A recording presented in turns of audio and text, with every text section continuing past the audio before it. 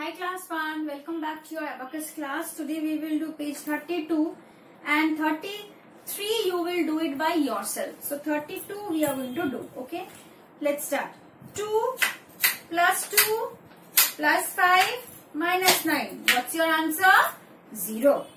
Next, 1 plus 2 plus 5 minus 7. Answer 1.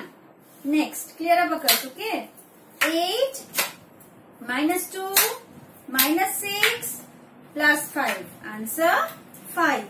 Next, 2 1 1 minus 2. Answer 2. Next, clear abacus. 5 3 1 minus 2. Answer 7. Okay, clear abacus. Next, 4 5 minus 2 minus 2. Answer 5. Okay. And the last one of this page. 5, 2, then minus 6 plus 1. Answer 2.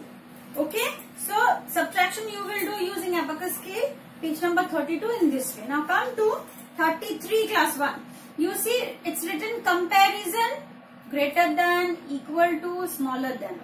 So, you will see the left side picture and you will see the right side beads.